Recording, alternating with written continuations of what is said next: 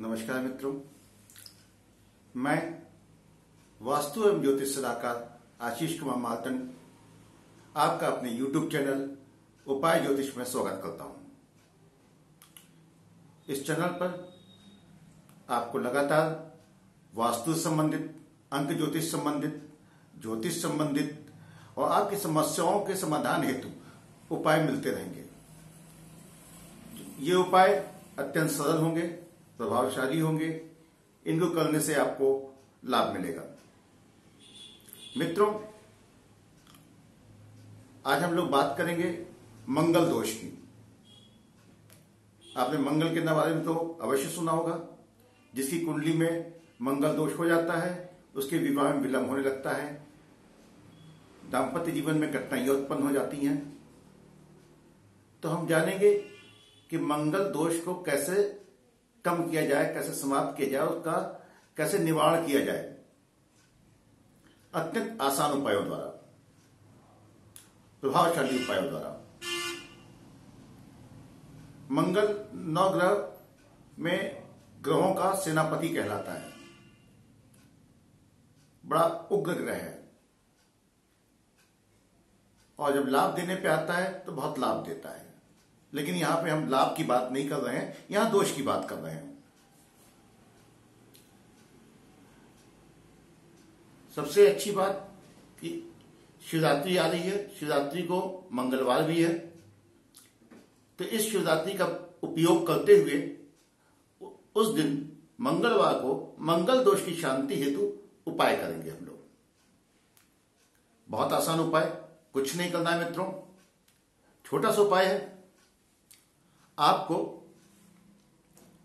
तांबे के तीन टुकड़े लेने हैं। तीनों टुकड़ों का साइज़ एक होगा। तीनों टुकड़ों का वेट एक होगा। और टुकड़े तीनों ट्रायंगुलर शेप में होंगे तिकोने होंगे। त्रिभुजाकार तो किसी भी जो धातुएँ बेचते हैं, उन दुकानों पर जाके आप तीन टुकड़े तिकोने कटवा लीजिएगा।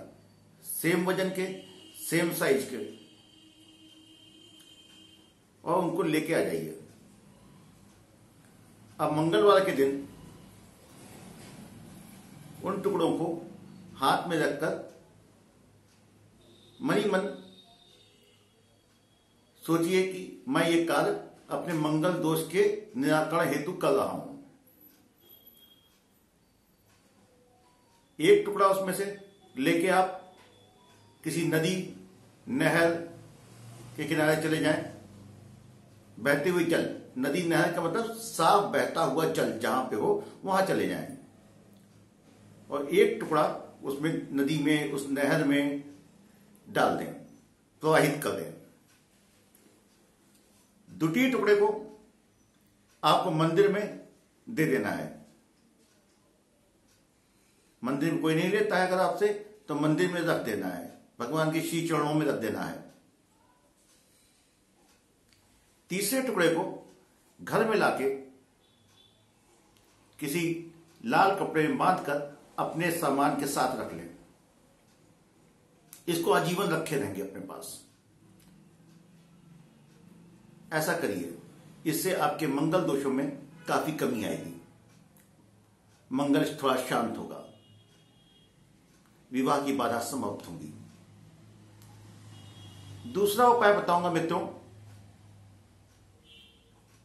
मंगलवार के दिन